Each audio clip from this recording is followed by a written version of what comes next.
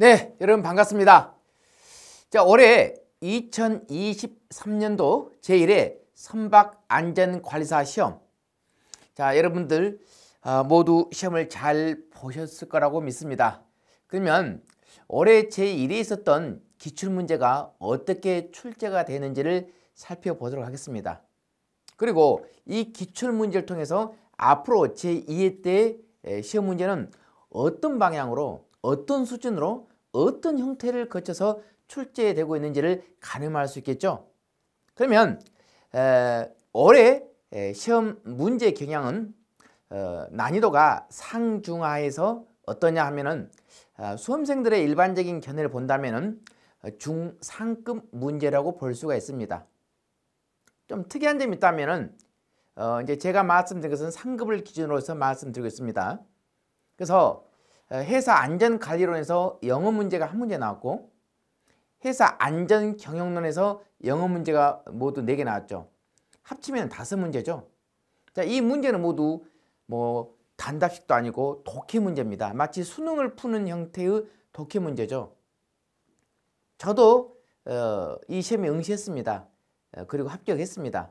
물론 뭐 말할 것도 없겠지만은 어, 제가 이 시험을 보게 된 이유는 제가 기본서 저자고 그 다음에 이 시험이 앞으로 어떤 방향으로 흘러가고 있는지를 제 스스로 몸소 체험하면서 여러분에게 방향을 제시하고자 하는 입장에서 제가 시험을 보게 되어 있습니다. 음, 그러면 어, 지금부터 기출문제를 풀어보는데 이 기출문제에서 약간 변화를 거치면 또 내년에는 이런 형태의 문제가 나오지 않겠는가 어, 그런 것을 약간 염두에 두셔서 여러분들 공부해 두시기 바랍니다. 자 그러면 기출문제를 풀도록 하겠습니다. 기출문제는 그 형태의 문제와 그 다음에 요지 자, 이런 형태로 간단하게 다뤄두도록 하겠습니다. 자, 첫 번째 과목인 선박관계법규 자 풀어볼까요? 자 먼저 음, 일본에서 선박의 입항 및 출항에 관한 법률 문제가 나와 있죠. 여러분 교재 보면은 11페이지죠. 자, 교재를 반드시 펴놓고 어, 한번 비교 한번 해봅시다. 자, 11페이지 보면은 제 37조를 한번 봐보세요. 선박 수리와 관련된 것. 자, 20톤 이상. 자, 몇 톤이냐? 몇 킬로냐? 이런 것들이 가장 많이 나온다고 했던 거죠. 그래서 어, 선장은 어, 무역항 수상구역에서 어, 불꽃이나 용접한다 이 말이죠. 그러면 관리청의 허가를 받아야 된다 이거죠. 몇 톤 이상 배 허가 받냐? 20톤. 자, 용어 알아두시고요. 그 다음 이제 2번 문제를 한번 풀어보도록 할까요? 선박의 입출항에 관련된 법이 나왔죠. 폐기물 투기 금지가 나와 있어요. 이거 주는 문제입니다. 누구든지 무역항 수상구역 등이나 무역항 수상구역 밖에서 10km 이내. 자, 이 부분이죠. 자, 10km. 앞으로 시험 문제 낸다면 은 이런 형태를 갖다가 10회리 이렇게도 물어보는 겁니다. 조심하셔야 되겠죠. 10km 이내입니다. 키로수만 애워가지고 문제를 푼 학생들이 있기 때문에 수험생들이 있기 때문에 바로 이것을 해리로도 바꿀 수 있다는 것 염두에 두셔야 되겠죠. 자 이것은 바로 12페이지에 그대로 나와 있습니다. 어, 지금부터 이렇게 강의하면서 이 페이지가 이렇게 나와 있는데 어, 우리 그 23년도 제1회 선박 안전 관리사 모두 90% 이상 적중률을 보였습니다. 그 적중률은 여기서 그대로 확인하시면 충분합니다. 자, 그 다음 문제를 풀어보도록 하겠습니다. 자, 세 번째, 선언법을 물어보겠죠. 선언, 근로계약 해지한다 그죠. 너 그만둬 라고 했을 때 그 며칠 전부터 알려주고 느닷없이 해지하고 있을 때 임금은 퇴직금은 얼마 줘야 되냐. 자, 그것을 물어보고 있는 거죠. 그래서 30일 이상 그죠? 예고. 자, 30일 이상 예고기간을 두고 서면으로 그것을 알려야 된다고 나와 있죠. 19페이지 한번 봐 보시기 바랍니다. 19페이지 자 거기 보면은 33조와 관련된 부분이 언급되어 있습니다. 그리고 한 달치 이상 통상 임금을 지급하라. 자 그것을 물어보고 있습니다. 자 31분 이상 요거 요것도 하나 알아놓으시고요. 자 퇴직금 제도 자 이렇게 그래서 숫자를 물어보는 거죠. 예, 근로계약 해지할 때 예고 기간 그 다음에 퇴직금은 얼마 정도를 줘야 되냐. 아주 기본적인 문제지만은 어, 내용이 많다 보니까 그냥 지나칠 수 있는 문제가 되겠습니다. 자, 이 부분은 19페이지에 그대로 나와 있죠. 33조와 관련된 부분이 되겠습니다. 자, 그 다음으로 네 번째 선언법. 자, 예비원이죠. 자, 이것은 39페이지를 한번 펴보도록 합시다. 39페이지 보면 선언법이 나와 있습니다. 거기 예비원이 있죠. 자, 선박 소유자는 고용하고 있는 총 승선 선원수의 10% 이상의 예비원을 갖다가 자, 항상 확보해야 된다라고 나와 있습니다. 이 부분. 자, 확보해야 된다. 자, 여기 10% 이상. 자, 예비원. 그리고 통상 임금. 자, 임금의 70%를 지급해야 돼요. 예비원은 아직 승선하지는 않았어요. 쉽게 말해서 땜빵이라고 얘기하는 거죠. 음, 보충. 그죠? 자, 그런 숫자를 갖다가 10% 이상. 그리고 그런 사람들은 자, 70% 임금을 지급한다라는 거죠. 자, 이 수치 하도 우리 그 어, 법규는 수치 많죠. 킬로미터, 해리, 톤, 퍼센트, 몇 명인가, 몇 년인가, 그죠? 이런 것들을 물어보기 때문에 수치를 잘 기억해 두시기 바랍니다. 역시 마찬가지로 선언법이죠. 자, 선언법은 66페이지를 한번 봐보도록 합시다. 거기 보면은 제 135조 나와 있죠. 회사 노동 적합 증서와 회사 노동 적합 선언서죠. 적용 범위죠. 자, 총톤수 500톤 이상 국제 항해에 종사한 선박 또 500톤 이상의 항해 선어서 다른 나라 안의 항사를 왔다 갔다 하는 선박 그 다음에 이거 이거 제한 선박 소유자가 요청하는 경우 자 이런 거죠. 자 이런 것들은 어, 다른 문제와 또 어, 중복적으로 결합해서 공통적인 문제로 출제했던 것입니다. 자 어찌됐든 간에 톤수와 관련된 것은 반드시 여러분이 익혀주셔야 되겠죠. 그래서 나중에 이제 이런 부분은 여러분들이 톤만 따로 묶어가지고 공부를 해야 돼요. 그래야 헷갈리지 않습니다. 제가 그 여러 번 언급해 줬습니다. 자, 그 다음 넘어오시기 바랍니다. 선박 직원법. 자, 이것은 74페이지를 한번 봐보도록 하죠. 자, 거기 55조. 자, 해기사 면허죠. 여러분, 수상 레저 면허는 해양경찰청장이 주는 거죠. 예. 그러면 도선사 면허는 누가 줍니까? 역시 해수부 장관이죠. 해기사 면허도 해수부 장관이 주는 겁니다. 수상구조사는 역시 해양경찰청장 몇 개 안 돼요. 해기사하고 도선사는 해수부 장관이 주는 거죠. 음. 그래서 자 해기사 시험에 합격하고 난 합격한 날로부터 3년이 지나지 않아야 된다. 바로 요 부분이죠. 이거 이렇게. 자 여기는 이제 74페이지 그대로 나와 있습니다. 그 다음 자 7번 문제. 자 97페이지를 한번 봐보도록 하겠습니다. 거기 보면 나와 있죠. 선박 안전법에서 중간 검사를 생략하는 것 나와 있습니다. 중간 검사 생략. 이미 자 이미 암겠죠. 어, 투, 추노 추진 기간이 없다. 추노 이렇게 이렇게.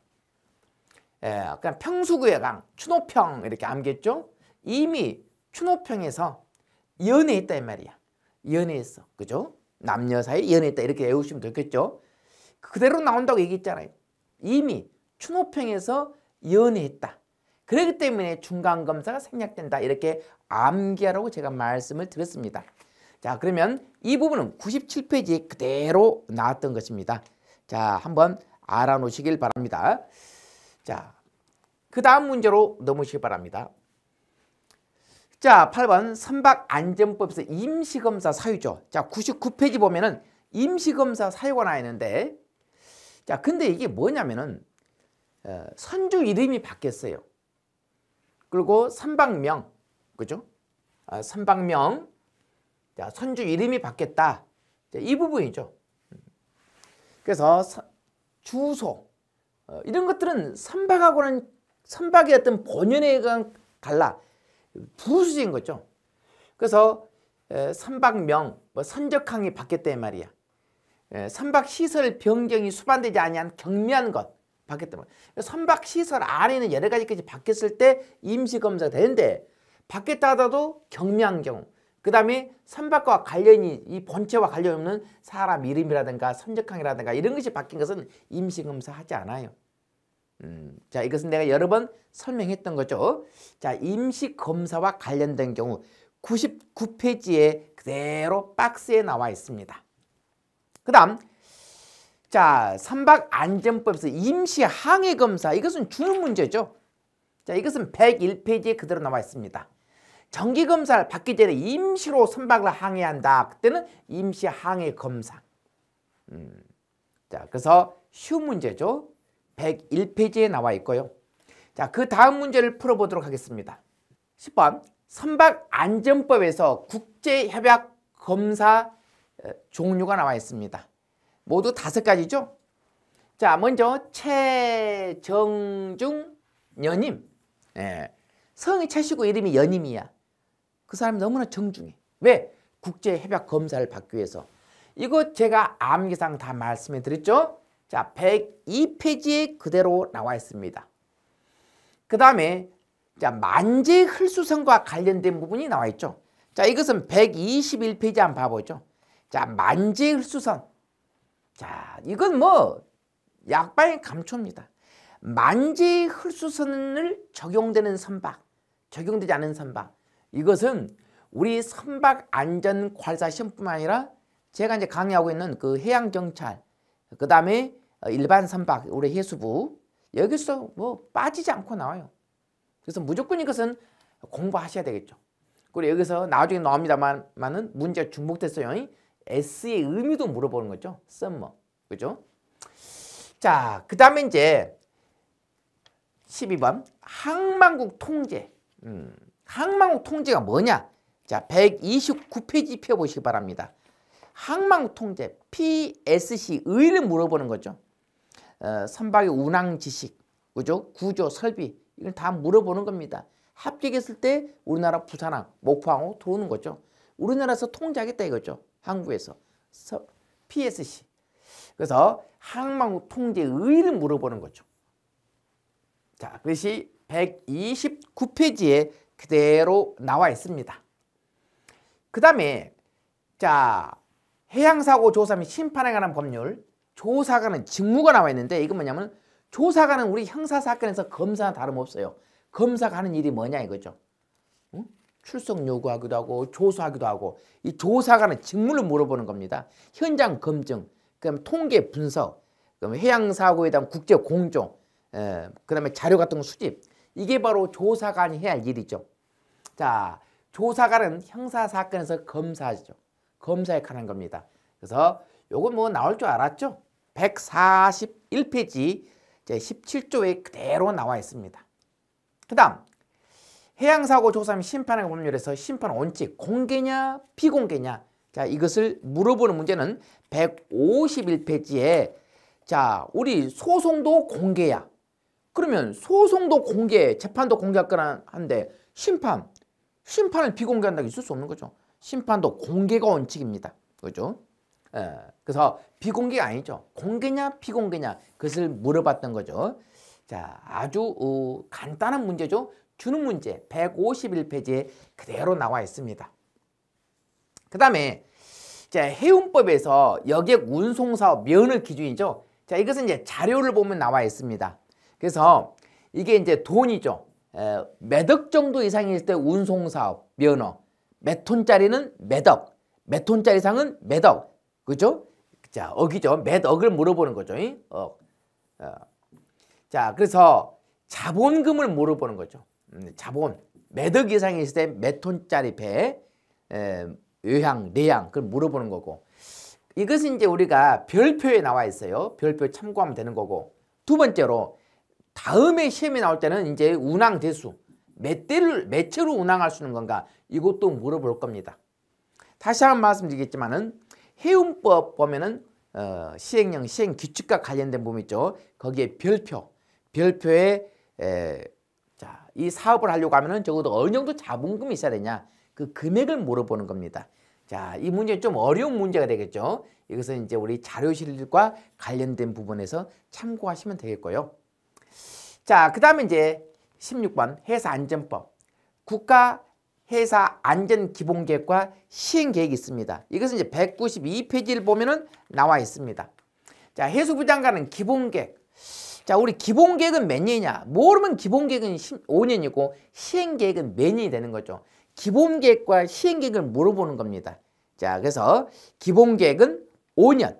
그러나 환경과 관련된 것, 항행 개선과 관련된 것은 10년 단위고 그 다음에 시행계획은 매년이죠. 자, 그것은 물어보는 것입니다. 기본계획은 5년이고 시행계획은 매년 이렇게 되는 거죠. 자, 이것은 192페이지에 나와 있습니다. 자, 뭐 여기서까지 풀어보면은 아주 쉬운 문제 나왔죠. 이것만 약간 까다롭죠. 까다롭지만은 우리가 별표, 도표 참고하게 되면 너무 쉬운 문제가 되겠습니다. 자, 이렇게 해서 16번까지 풀어봤습니다. 그 다음 17번 회사안전법. 자, 우리 회사안전법에서 자, 교통안전 특정 해역 설정과 관련된 부분이죠. 에, 이건 우리 암기해야 되는 거죠. 196페이지에 그대로 나왔습니다. 아주 많은 거의, 오리가 아니죠. 아주 많은 거의들이 고속 여객선 타고 갔다. 이렇게 암기하라고 얘기했던 거죠. 해볼까요? 자, 아주, 그죠? 많은, 그죠? 거의들이, 그죠? 고속 여객선을 타고 갔다 이 말이야. 그죠? 이렇게 암기하면 되겠죠. 아주 많은 거의들이 오리가 아니라 그죠? 버스가 아니라 고속 여객선을 타고 갔다. 자, 교통 안전 특정해요. 이것도 그 다른 종류 시험에서 매번 나온 문제입니다. 196페이지에 정확히 나와 있습니다. 자, 그 다음 문제를 풀어보죠. 자, 18번. 자, 회사 안전법 유조선 통항 제한이 나와 있죠. 이것은 198페이지에 그대로 나와 있죠. 자, 유조선은 음, 자, 항행할 수가 있다. 자, 1번, 2번, 3번, 4번 다 객관식 문제에서 생각해 보세요. 기상 악화, 인명, 응급 환자, 그 다음에 항만을 입출하는 경우, 이런 경우 자, 이건 주는 문제죠. 198페이지에 그대로 나와 있죠. 유조선 다음 1학년도 불구하고 유조선 통행 금지 해역에서도 어쩔 수 없이 지나갈 수가 있다 이거죠. 원래는 지나가면 안 돼. 그러나 지나갈 수도 있다 이거죠. 자, 모두 네 가지죠. 어, 항만을 입출하는 경우는 당연히 그쪽을 통과할 수밖에 없기 때문에 지나갈 수밖에 없다 이거죠. 그래서 기상, 어, 그 다음에 기상, 어, 인명, 응급, 입출항. 그죠? 기상, 임명, 응급, 입출항. 자, 이렇게 해서 정리를 했습니다. 자, 그 다음, 자, 19번 공통문제, 선박의 안전관리 체제. 이것은 회사 안전과 관련된 부분이죠. 그래서 회사 안전관리론과 공통적인 문제라고 볼 수가 있기 때문에 한번 참고해 보시고 우리 216페이지에 그대로 나와 있습니다. 어, 이 시험 자체가 선박 안전관리사죠. 어, 필수 문제입니다. 선박 안전관리사 시험에 이 문제가 나오지 않으면 절대 안 돼. 선박의 안전관리 체제 수립. 그래서 216페이지 제46조 어, 안전관리 체제 수립 선박하고 안전관리 체제 내용은 무조건 시험에 나온다고 한 겁니다. 이 문제가 안 나오면은 선박 안전관리사 시험이 아닙니다. 자, 그래서 별별 쳐놓으시고요. 자, 그 다음에 이제 ISPS, 어, 국제항해 선박 및 항만시설 보안에 관한 법률에서 어, 선박 보안 심사 등 임시 검사 사유와 그 다음에 특별 심사 사유를 물어보는 건데 이것은 236페이지 보면은 그대로 나와 있습니다. 임시 검사할 때는 어쩔 때 임시 검사하고 특별 심사는 어쩔 때 하냐 이거죠. 자, 그래서 자, 임시 심사, 그다음에 특별 심사, 별표 쳐놓으시기 바랍니다. 에, 국제 항해 선박의 소유자가 바뀌었어. 그럼 다시 보안 임시심사 하는 거야. 국적이 또 바뀐 거야. 에, 그런 거죠. 어, 그래서 네 가지 사유가 있습니다. 임시검사 사유 네 가지. 네 가지 해당하면은 임시검사를 하는 거고 또 특별심사는 세 가지 사유 해당하면은 특별심사 들어가는 것입니다. 그래서 236페이지에 그대로 나와 있죠. 그 다음에 이제 솔라스 음, 그죠? 네. 해상 인명 협약이죠. 방화구역. 이거 나온다고 얘기했던 거죠. 자, 이것은 280페이지 보면은 그대로 나와 있습니다. 자, 방화구역과 관해서 A급, B급, C급 세 가지가 있습니다. 자, A, B, C급 모두 세 가지가 있죠. 자, 그래서 이 부분은 에, 무조건 나온다. 제가 강의할 때도 A급 방하고요, B급 방하고요, C급 방하고요. 그대로 나오고 그 다음에 비상훈련, 솔라스 에, 선원이 바뀐 거예요. 선원이 하나 40명이야. 그 중에서 25%를 초과하는 선원이 바뀌면 은 빨리 비상훈련 해야 돼. 자, 24시간 이내. 그죠? 그래서 2524 이렇게 공부했죠. 2524.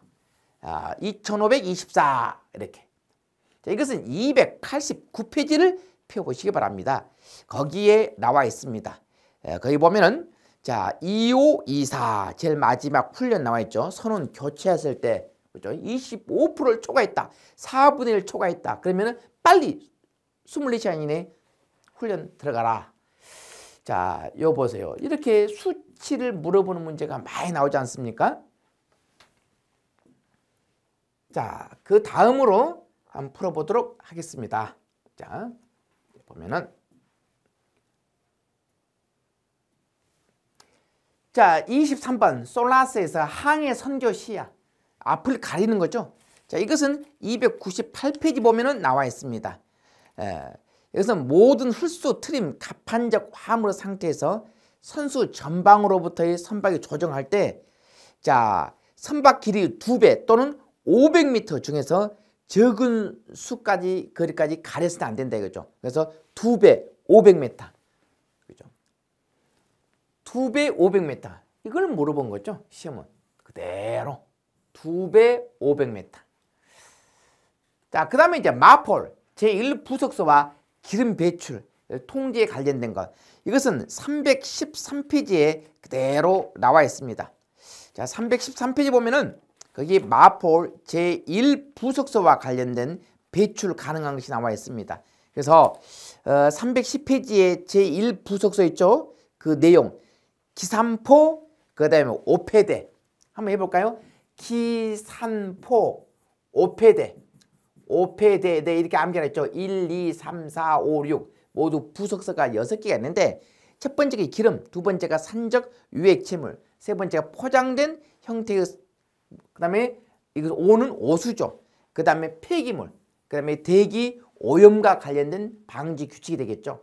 그 중에 제1부속서인 기름 오염과 관련 내용을 묻고 있었던 거죠.